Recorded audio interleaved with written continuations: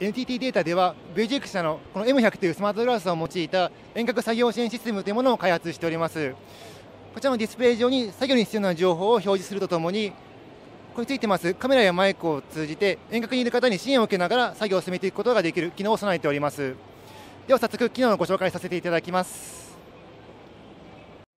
こちらの遠隔作業支援システムは手を使わずに操作することができまして、このような青いマウスポイントを頭の動きを使って操作するインターフェースを備えております。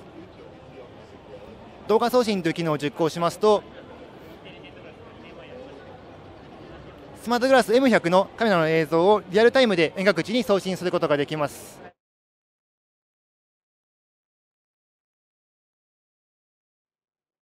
さまざまな可能性を秘めたウェアラブルデバイス M100 スマートグラスは好評発売中です。詳しくはこちらのホームページをご覧ください。